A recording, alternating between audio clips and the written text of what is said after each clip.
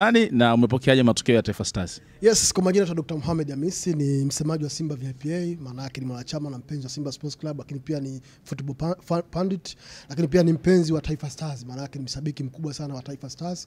Binafsi nimeyapote- siku- siku- sikuyapokea vizuri kwa sababu nitarajia tushinde, ingawa tumepoteza, ndio mchezo kwa kalita ambayo wanayo Morocco. Ni timu kubwa, timu namba moja barani Afrika kwa bora kwa sasa kwa viwango vya CAF ranking, lakini ni timu namba 13 kwa bora duniani. Unaona jinsi ambavyo kikosi chao mpaka dakika kikosi ambacho kimecheza jana kina thamani ya paundi kama milioni mia mbili themanini na tisa. Maana yake ni, ni kikosi chenye thamani kubwa e, wachezaji kutoka ligi mbalimbali duniani kubwa bora. Unazungumzia Asufiani Amrabat kutoka Uingereza IPL, unazungumzia Hakim Ziyech kutoka e, pale Galatasaray, unazungumzia e, Ashraf Hakim kutoka, pale si, uh, e, e, ligi 1 pale PSG. Kwa hiyo ni zaidi ya ligi tano bora duniani zilikuwa jana zinacheza pale Benjamin Mkapa. Maana yake walikuwa na ubora na quality hali ya juu sana. Kwa kikosi e, quality ambayo wanao invest kubwa, investment kubwa ambayo wameifanya kuanzia kwenye soka la vijana ndiko ambako imepelekea Morocco ku, kuwa hapa ambako walipo. Unaona goli ambalo amefunga Hakim Ziyech, kafunga goli zaidi ya mita 35 kutoka kwenye kwenye kwenye, kwenye goli ana, anamfunga Kwese Kawawa. Ni goli kinaangalia nafikiri lepesi, lakini sio lepesi kutokana na mpira uli- ulidunda. Lakini angalia namna ambavyo